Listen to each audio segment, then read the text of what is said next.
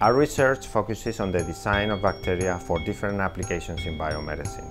We use non-pathogenic bacteria obtained from the natural microflora of our body and modify their genome very precisely through genetic engineering and synthetic biology techniques to be able to control the expression of proteins with therapeutic potential. One such proteins are antibodies. These are molecules whose function is to specifically bind to regions of other proteins, just like key fits within a lock. Antibodies allow us to identify disease-related proteins for diagnosis, to block other proteins for therapy, and to help us to target our bacteria for infected and tumor cells.